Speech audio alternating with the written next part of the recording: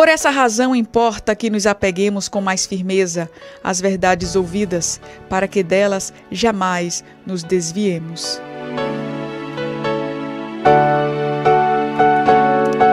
Primeiramente, eu quero dizer a você que a minha oração, o meu desejo, é que você jamais se desvie desse caminho. Todos nós que formamos a Rádio Novas de Paz, apresentamos a tua vida ao Senhor em oração.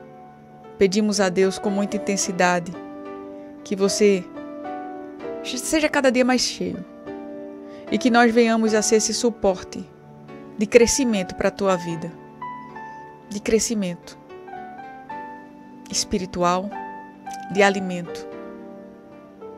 Sabe quando a mãezinha passarinho chega? Um dia desses eu estava lá no sítio e vi um, um, um ninhozinho de sabiá, coisa mais linda do mundo. Tinha três sabiazinhos pequenininhos dentro. Quando a gente fazia qualquer barulho, eles pensavam que era a mãe chegando. As crianças amam isso. Ele já jogava o pescocinho assim para fora, abria a boca. Mas não era a mãe chegando. Mas quando a mãe chegava, eles faziam isso. Abre a boca lá e começa a gritaria, né? A mãe vem com a minhoquinha, a mãe vem com um besourinho, a mãe vem com um pedacinho de ração das galinhas e põe lá na boca deles. E mata a fome deles. Pronto. Por que, que eu tô falando isso aqui? A Rádio Novas de Paz é mais ou menos isso para você. É alimento do céu. Você abre sua boca aí onde você tá, igual os filhotinhos do sabiá. E aí Jesus te alimenta com a palavra de Deus que vai chegando através das ondas sonoras da Rádio Novas de Paz.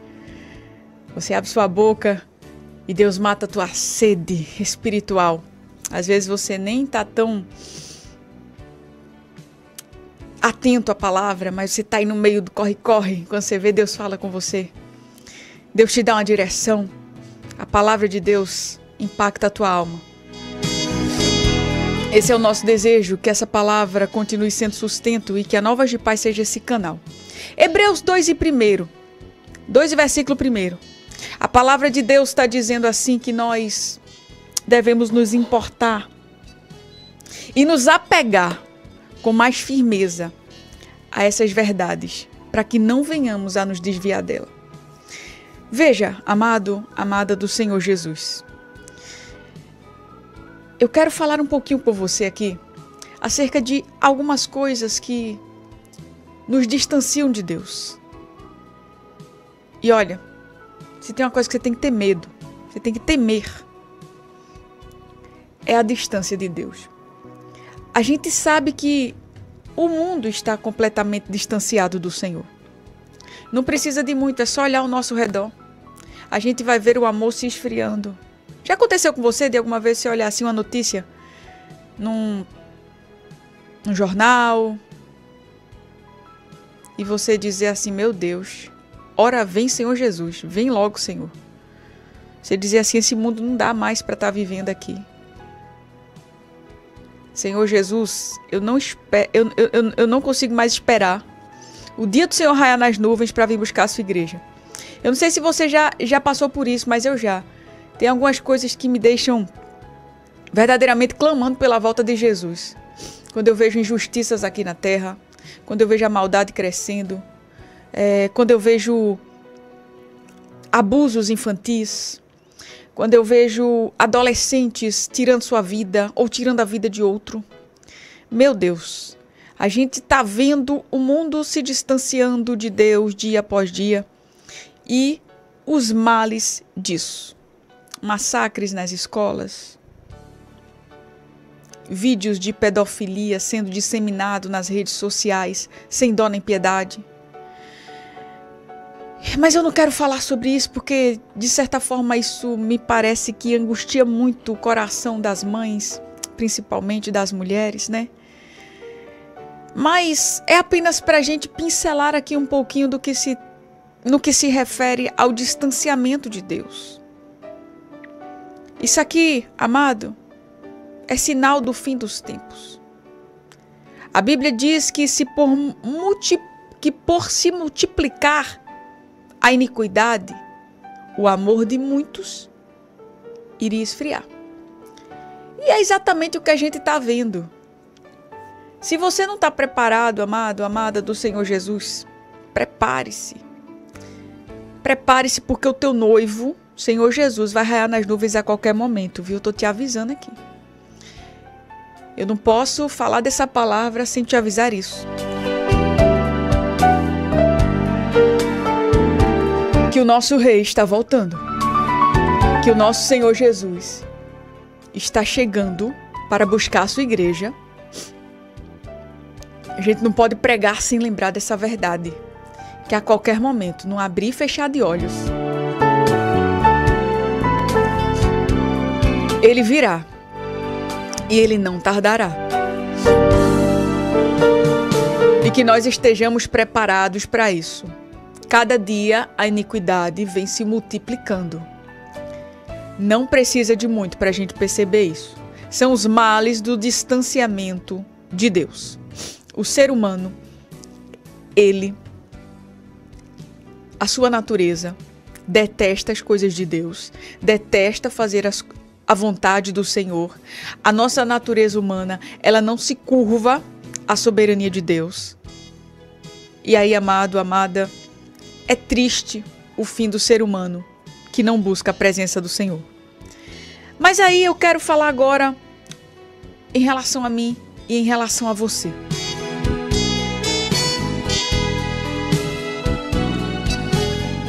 Eu quero, amado, hoje falar sobre a nossa negligência espiritual e tratar de algumas coisas que vão nos afastando de Deus sem que nós percebamos.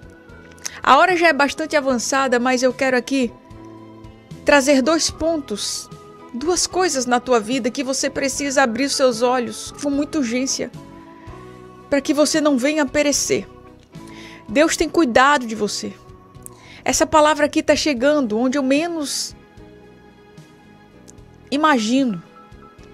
Isso eu quero que você sinta que Deus ele ele cuida de você, ele, ele tem muito zelo por você e ele providencia essa palavra no dia de hoje por amor. Porque ele quer abrir os teus olhos espirituais. Ele quer que você desperte do seu sono. Deus ele não quer você dormindo enquanto a tua família está sendo destruída. Deus ele não quer você dormindo enquanto a maldade cresce no mundo. Deus ele não quer você dormindo porque dormindo você não oferece ameaça ao inferno. E você, amado, amada, você é uma bomba no inferno. Você, você é uma ameaça para o reino do inferno. Você está entendendo quanto que Deus ele quer usar você?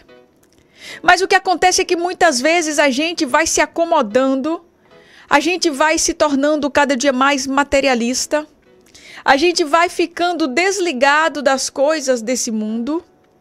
Aleluia. Como alguns discípulos de Jesus, enquanto Jesus estava lá orando, suando sangue, angustiado porque sabia que ia ser crucificado. Jesus tinha consciência da missão, e ele disse: Vamos orar com os discípulos. O que é que os discípulos foram fazer? Oraram com ele? Não. Os discípulos foram dormir. Não tinham consciência da missão. Deus está dizendo a você nessa manhã: conscientize-se da sua missão.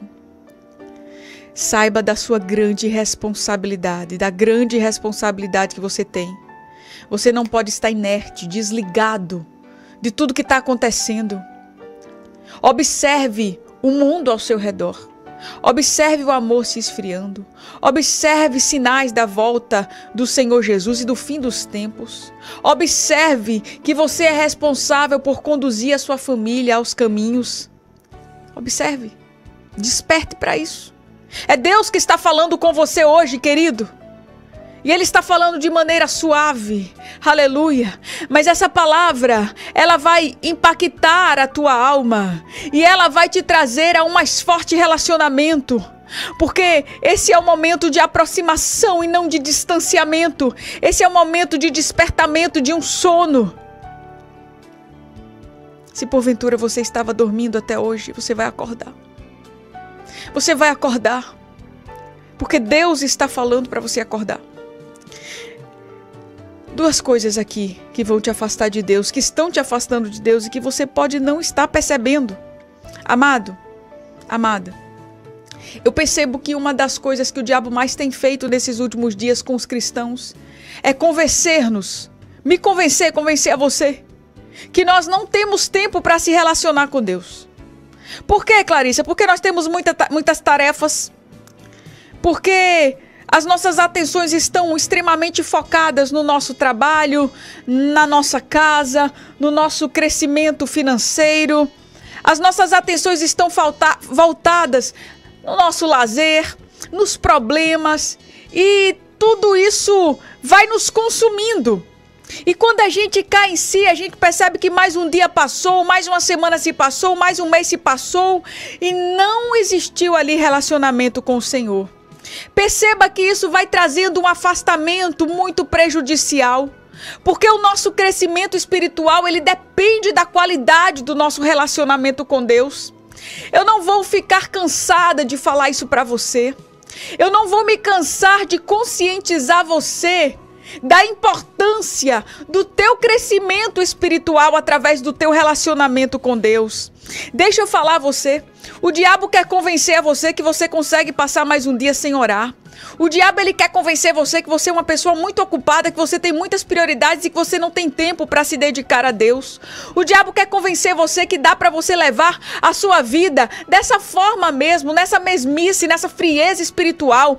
Ele quer convencer você disso tudo, para que quando você estiver convencido, você se torne essa pessoa apática espiritualmente, você se torne essa pessoa negligente com as coisas de Deus, você se torne frio, você se torne fraco e lá na frente você tropece e você caia. Esse é o plano do diabo para você. Mas deixa eu dizer uma coisa: através dessa palavra eu profetizo que em nome de Jesus todos os planos dele foram frustrados. Que no nome de Jesus todos os planos do diabo da tua vida para te promover frieza espiritual, para te promover todo, toda sorte de, de cansaço, de fadiga espiritual, todos os planos do diabo já caíram por terra, no poder e na autoridade que há no nome de Jesus. Hoje Deus te promove despertamento. Hoje Deus te promove mudança.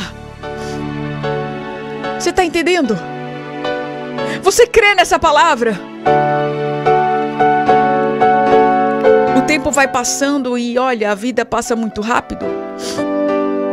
Um dia desse nós éramos crianças, estavam brincando, brincando no quintal da nossa casa. Um dia desses a gente estava na escola, no pré-escolar. Eita Deus! Lá com a tia ensinando pra gente o beabá. Quando a gente se vê, a gente já tá casado, já é mãe. Daqui a pouco a filha tá maior que a gente, igual que tá acontecendo aqui em casa. Minha filha Clarinha tá quase maior que eu. Amada, a vida é um sopro. E nesse intervalo curto, o inimigo fica tentando convencer você que você sozinho é capaz. Eu quero dizer que você não é capaz sozinho. Eu quero dizer a você que você, se não ficar atento, você vai se distanciar. Amado, amada do Senhor, com essa simples mensagem eu quero dizer a você que você precisa tomar algumas providências. E eu quero que você afirme nessa manhã, sim, eu preciso tomar algumas providências. Eu vou dizer que providências é essa. Só diga assim, eu preciso tomar providências.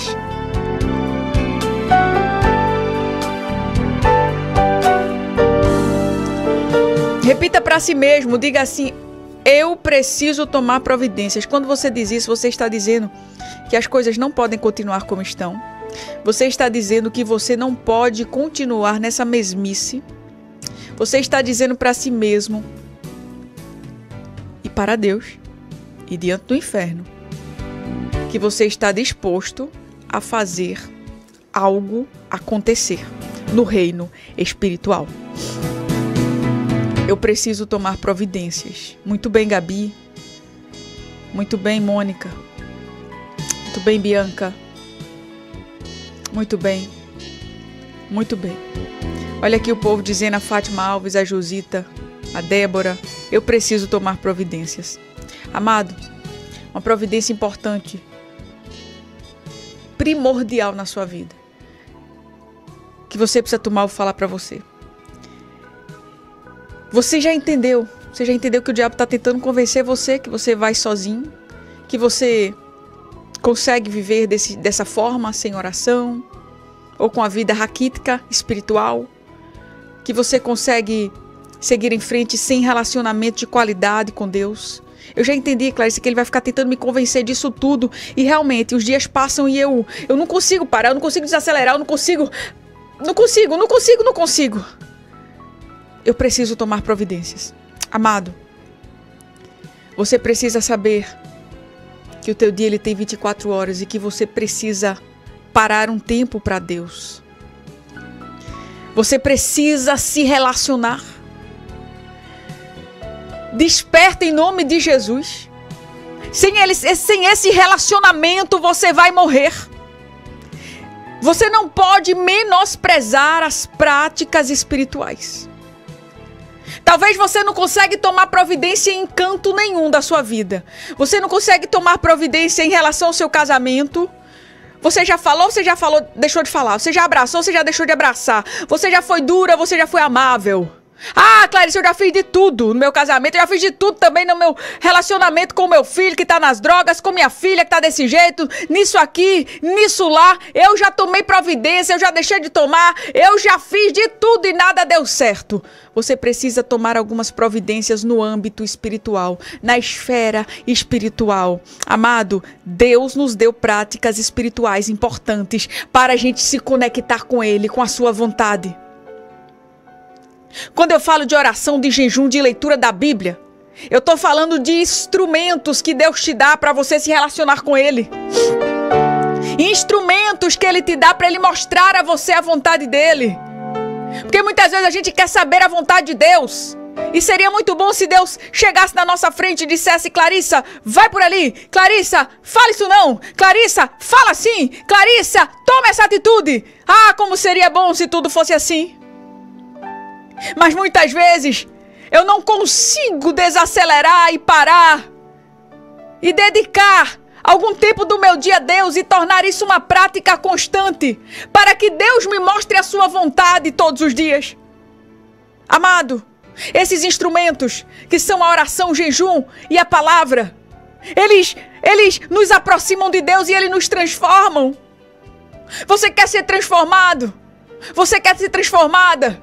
Você precisa dedicar momentos no seu dia para Deus. Para ali você ser moldado. Se você não faz isso, você abre caminhos para o enfraquecimento.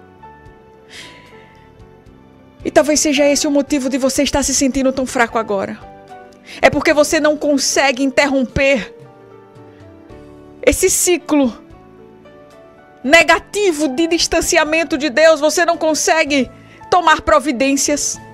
Mas hoje Deus ele te convida para interromper esse ciclo de distanciamento. Para fechar o caminho do enfraquecimento espiritual. Isso está te levando para longe. E Deus hoje está bradando, dizendo assim: filha amada, filho amado, eu te quero perto, eu te quero perto, eu te quero perto para você ficar forte. E forte você vai enfrentar, forte você não vai desanimar, forte você não vai desistir, forte você não vai sequer parar em, pensar em parar. Sequer pensar em parar. Aleluia. Aleluia. Amado, amada, nós já vamos orar, mas entenda as nossas práticas espirituais, essas ferramentas que Deus nos deu. Ele nos dá de presente. E muitas vezes nós não desfrutamos desse presente. Quando a gente se dedica ao Senhor, Ele tem prazer em nós. E a gente vê quando Jesus estava aqui na terra, ele buscava intimidade com Deus. Mas não só Jesus buscava intimidade, buscava prazer em Deus, Deus também tinha prazer nele. Você lembra quando lá em Mateus no capítulo 17, Deus ele diz em relação a Jesus: "Este é o meu filho amado, em quem me comprazo". Ou seja, Deus está dizendo assim: "Eu tenho prazer nesse meu filho". Será que Deus está olhando para você e ele tem dito assim: "Eu tenho prazer em você"? Eu tenho prazer em você. Eu tenho alegria. Será que o Pai nos tem olhado lá de cima e tem falado como ele falou para Jesus? Esse é o meu filho amado em que eu me comprazo?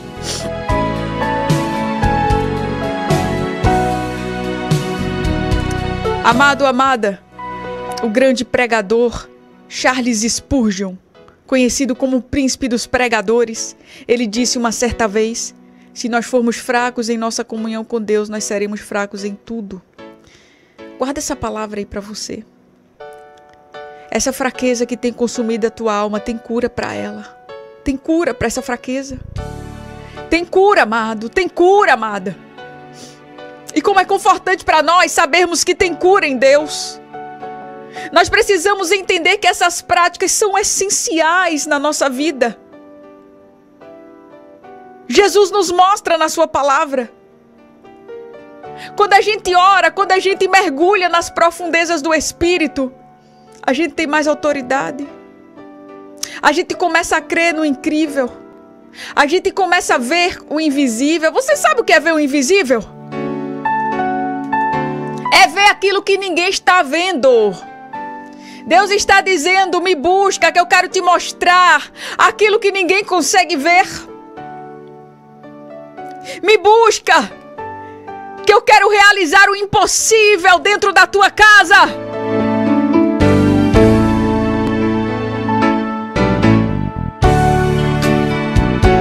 Essa manhã Deus te chama para um fortalecimento espiritual. Aleluia, aleluia, aleluia.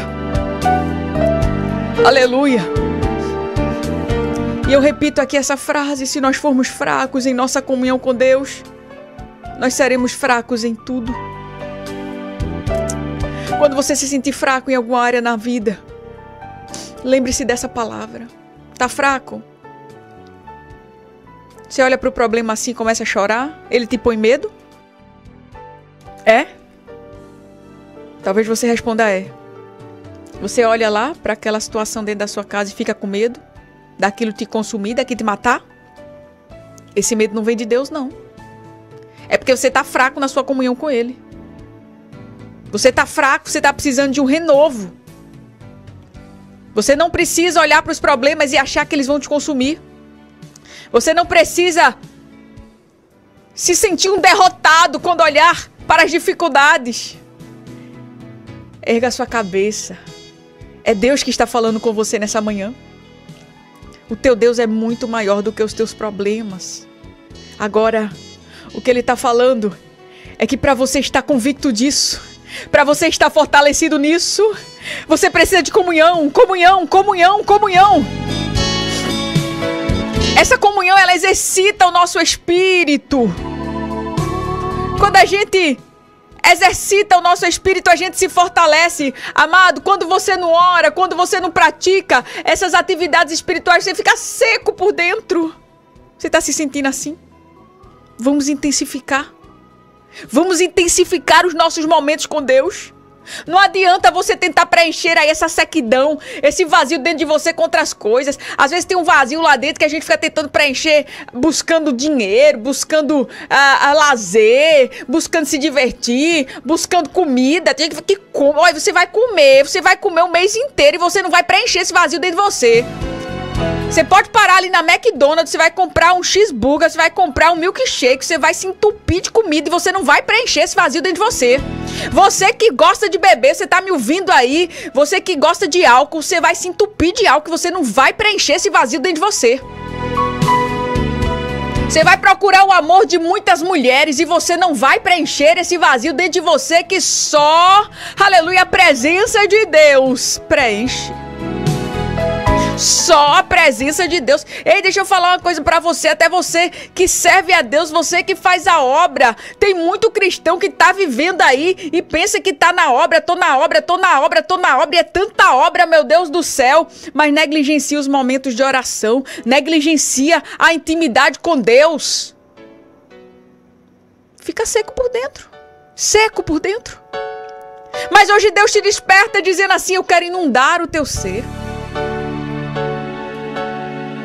Eu quero inundar o teu ser. Aleluia. Amado, quantos cristãos estão sedentos por negligenciarem a prática devocional? Não conseguem se saciar. Só Deus vai preencher esse vazio através da oração, através da busca diária. Não tem nada melhor do que estar com Deus. O homem espiritual, ele fica mais forte por meio de tais exercícios. Veja só. Dentro de você existe a tua natureza espiritual e a tua natureza humana. Eu pergunto, quem mais você tem alimentado? Quanto tempo você tem gasto alimentado a tua natureza espiritual? A tua espiritualidade? Porque a nossa natureza humana a gente não precisa fazer absolutamente nada para alimentá-la. A gente só precisa ficar na frente de uma TV, a gente só precisa deixar a vida nos levar lá na, na tela do nosso celular. Vai clicando, abrindo uma porcaria atrás da outra. Você está alimentando aí tua natureza humana. Vendo lá conteúdo indecente, imoral, cheio de iniquidade. Eu tô falando de pornografia, não. Eu tô falando de violência também. Eu tô falando de tanto lixo ideológico que a gente fica consumindo ali, que são contra os princípios cristãos. Só precisa disso. Você fica alimentando aí a sua natureza humana e daqui a pouco você não entende. É porque eu tô tão fraco. Oh Deus, eu vou à igreja, Deus. Por que, eu tô tão fraco? É você aí alimentando tua natureza carnal com conversas imorais no seu celular, com hábitos no seu dia a dia que te afastam de Deus. Aí depois você não entende porque que essa tristeza tá aí te consumindo. Aí depois você não entende porque você tá tão. Meu Deus, que eu tô tão fraco. Meu Deus, meu Deus, meu Deus, meu Deus. É você que fica deixando sua natureza humana gorda. Tá. Em nome de Jesus. Para de dar comida a essa criatura. E a tua espiritualidade tá lá raquítica, clamando, com fome, se tremendo, se acabando. E você não consegue entender por que, que você tá desse jeito. Você tá me entendendo, amado? Eu tô aqui usando de simbologias para que você possa absorver e entender o que está acontecendo lá dentro de você. Hoje é dia de você olhar para sua natureza espiritual, para sua espiritualidade, como uma pessoa faminta. Hoje é dia de você olhar para sua espiritualidade como aquela criancinha lá na África que você enxerga os ossinhos dela. Como a gente vê lá nas redes sociais, né? Que alguém pega e cuida, daqui a pouco ela tá bem gordinha, bem tratadinha. Pronto, enxergue assim a sua espiritualidade. Talvez ela esteja raquítica, sedenta, faminta, clamando, dizendo: Ah, como eu queria. E você não consegue enxergar que é necessário essa mudança e ela é urgente. Aleluia! Ei, é Deus que está falando com você. Alimenta o teu espírito. Alimenta o teu espírito hoje. Senão você vai ficar seco espiritualmente. Aleluia, aleluia. Aleluia. Por meio da oração, por meio desse alimento, você vai ficando forte e você vence as batalhas, vence as suas aflições. Quando vem os ventos, a tempestade, você não se abala. Eita Deus! Tem muita gente que está me ouvindo agora e está abalado, prostrado. Veio um vento forte e derrubou. Deus está dizendo assim: Ei, se firma na rocha. Lá em Mateus, no capítulo 7, Jesus conta uma parábola da casa edificada sobre a areia e da casa edificada sobre a rocha. Ele fala daquele que ouve as suas palavras e coloca em prática, e aquele que ouve e não coloca em prática. Você vai escolher qual caminho? O de praticar ou o de só ouvir? Porque ouvir todo mundo ouve e até o diabo ouve. Mas praticar é diferente. Ele diz que aquele que pratica é semelhante àquele que constrói a casa sobre a rocha. Pode vir o vento, pode cair a chuva, pode transbordar o rio. E essa casa não cai, porque ela tem alicerce. Assim é aquele que coloca essa palavra em prática, aquele que pratica oração, aquele que faz o que Jesus ensina, aquele que se fortalece no Senhor. Hoje é dia de fortalecimento.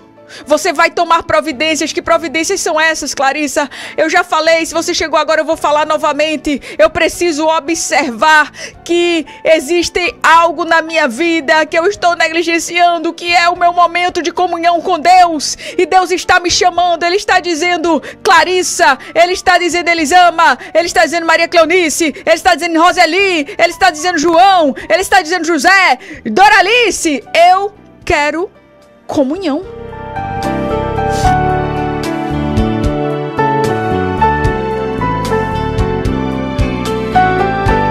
Separe tempo para Deus. Separe tempo para alimentar sua espiritualidade. Para mortificar a sua natureza humana. Você vai ver as coisas começarem a mudar. Você vai parar de ficar só querendo. Porque querer todo mundo quer. Mas tomar providências é diferente. Eu te garanto, amada, e eu te garanto, fortalecida e baseada nessa palavra, eu te garanto que quando você mudar, as coisas vão começar a mudar. Eu te garanto que quando você levar isso aqui a sério, isso aqui que eu tô pregando, as coisas vão começar a mudar. Eu te garanto.